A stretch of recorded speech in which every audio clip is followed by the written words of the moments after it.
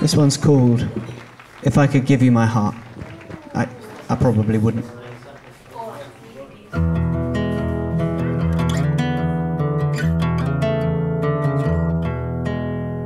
Here we go again buying gifts for partners, lovers, friends with benefits.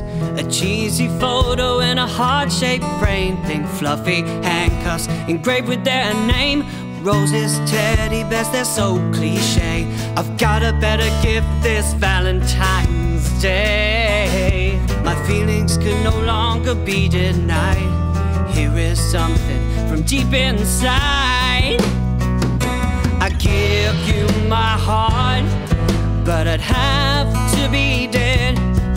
And I'm still very much alive. So please have my kidney instead.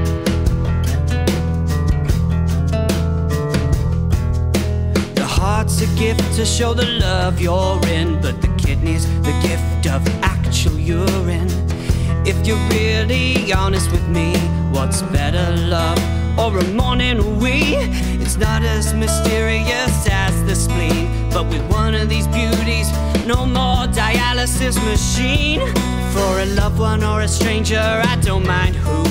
It's okay, don't worry, I've got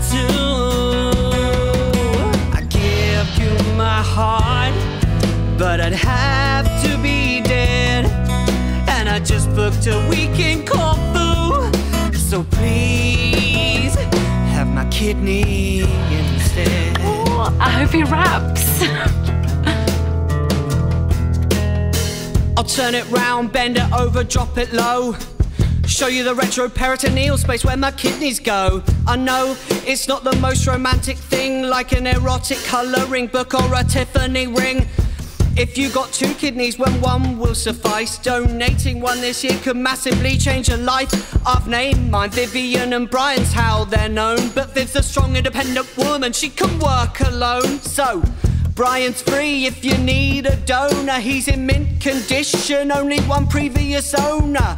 This Valentine's Day, give someone a fresh start with the gift of a kidney side with a question mark. So if you're at the front of the queue, this one's for you. May it fit like a glove, a kidney shaped love. I give you my heart, but I'd have to be dead. And I just got a free trial on Amazon Prime. So please have my kidney instead.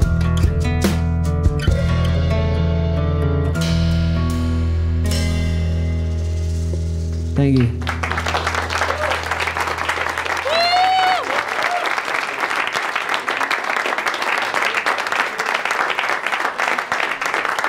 I'd give you one.